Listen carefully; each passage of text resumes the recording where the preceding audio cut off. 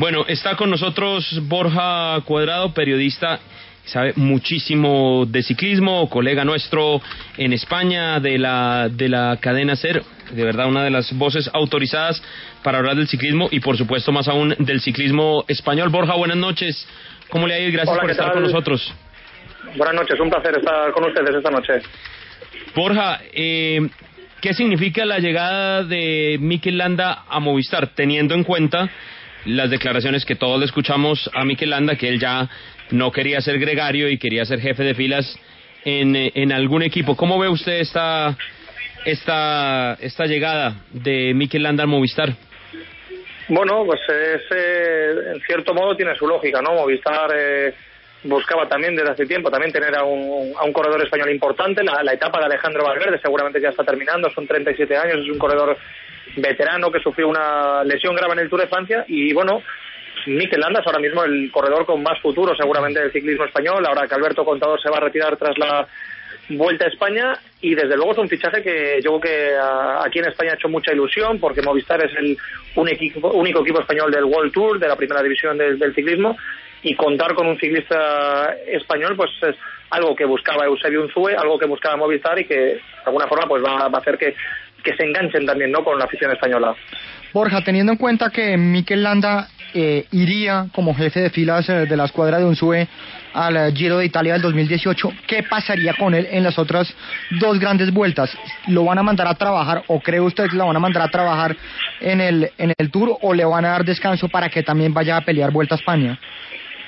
Bueno, pues es una, es una pregunta interesante, la verdad, porque hay que tener en cuenta que Mikel Landa, efectivamente, además nos lo dijo nosotros en la jornada de descanso del Tour de Francia, dijo, esto no me va a pasar más veces, yo la próxima vez voy a ser jefe de, filas, no quiero trabajar para, para más eh, corredores.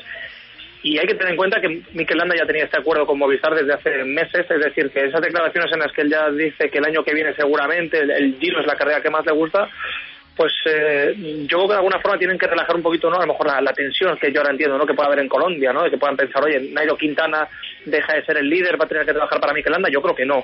De alguna forma, al menos en el año que viene, ¿eh? porque hay que recordar que Nairo tiene contrato hasta 2019, lo lógico sería que Landa fuera jefe en el, de filas en el Giro y que Nairo siga siéndolo en el Tour de Francia. Nairo ya lo ha dicho. Después de esta experiencia de 2017 de combinar Giro y Tour, que no ha sido del todo satisfactoria, ya ha dicho que el año que viene que no, que esto no se va a repetir y que únicamente va a pensar en el Tour. Borja, ¿usted cree que este año que viene, el 2018, la temporada 2018, puede resultar siendo un año de transición en el que los dos compartan, se soporten en el, en el buen sentido de la expresión y ya en 2019 pues ver a Mikel Landa como el gallo, como el capo mayor del Movistar? Bueno, habrá que verlo, ¿no? Hay tres grandes vueltas en el calendario, se puede repartir. Eh, yo creo que es indudable. El Tour de Nairo no ha sido bueno porque venía de, de un giro que fue muy duro para él, que no lo ganó, es verdad, quedó segundo, pero pero es indudable que Nairo Quintana sigue siendo uno de los corredores más, más valorados del mundo. Viene de. El año pasado, recordemos, fue tercero en el Tour, eh, ganó la vuelta, este año ha sido segundo en el Giro, ya en el Tour, bueno, por desgaste, pues no ha podido. Es decir, que, que Nairo de alguna forma no, no ha visto evaluado su, su cuota de mercado, sigue siendo un corredor muy importante, lo único que tendrá seguramente que tener otro tipo de calendario para estar más arriba, pero es verdad, claro, coinciden dos gallos en el mismo corral, ¿no? Ahí Mikel Landa es un corredor muy ambicioso y le hemos visto que mm, ha desafiado de alguna forma en la carretera e incluso en las declaraciones a un ciclista que ha ganado cuatro veces el Tour de Francia como es Chris Froome. Entonces, pues eh, es fácil, yo creo, intuir que, que en algún momento esa convivencia entre los dos corredores no sería del todo sencilla. Borja, eh, hablabas en la primera respuesta de, la lesión de Alejandro Valverde. A mí me gustaría preguntarte, bueno, eh, obviamente se está recuperando, vamos a ver cómo, cómo se recupera, pero este probablemente eh, a sus 37 años sea uno de sus mejores años como profesional y el año que viene, si todo es, según lo previsto, seguirá siendo parte de Movistar, seguirá compitiendo en carreras. Sí que es cierto que no irá a por ninguna grande, aunque hablando de Alejandro Valverde nunca se puede afirmar esto al 100%, pero mm, ¿crees que Movistar estar con estos tres líderes, eh, que sean Valverde, Nairo y, y Miquel, eh, ¿puede soportar bien esa, esa presión entre los tres Unzue? Bueno, vamos a ver, vamos a ver, Javi, qué, qué, tal, qué tal se produce esa convivencia. Se podría apostar, venga, 2018, eh, Mikel Landa, jefe de filas en el Giro, Nairo Quintana, jefe de filas en el Tour, y Alejandro Valverde, jefe de filas en la Vuelta, ¿vale? Pero luego habría que eh, se tendrían que producir algunas combinaciones entre ellos, es decir, vale, va a ser Mikel Landa el jefe de filas en el en el Giro de Italia, pero luego pues seguramente si llega al Tour la convivencia con Alejandro con, con Nairo no iba a ser del todo sencilla, ¿no?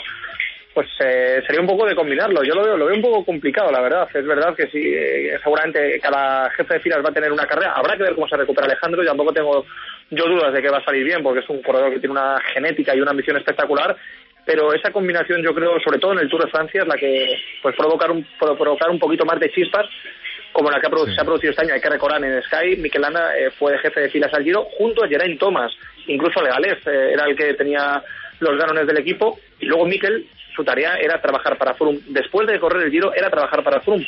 Y aún así ya vimos como de alguna forma pues mm, fue por libre en algunos momentos. Es decir, que, es fácil intuir que, que, esa situación con Nairo se puede repetir si coinciden ambos en el Tour de Francia. Borja, le pregunto por otro colombiano, Rigoberto Urán. Él lo confesó y su director deportivo también, Jonathan Bauter, sabía posibilidades o coqueteos de dos equipos grandes como Sky y Astana y finalmente él ha decidido renovar con el Cannondale. ¿Usted cree que tomó la decisión correcta?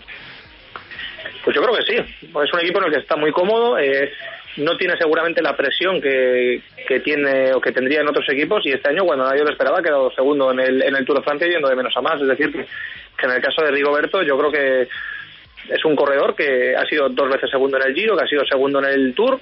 Yo creo que no tenía motivos para cambiar de aires. Y es verdad, eso sí, que el equipo ha perdido algún corredor importante, ¿no? Como Bettiol, que el italiano que estuvo bien en el, en el Tour de Francia, como, como Fórmulo, como Vilela, en fin. Vamos a ver cómo queda ¿no? la, configuración de, de, Cannondale, pero bueno, en, principio vimos como, como Rigo, a pesar de no contar con un gran, gran equipo, pues eh, se supo buscar la vida en el, en el Tour de Francia y al final quedó segundo. Borja, muchas gracias por estos minutos, por estar aquí en los micrófonos eh, de la W y por supuesto contar siempre con su opinión experta en materia de ciclismo. Un abrazo y buena noche. Un abrazo, muchas gracias.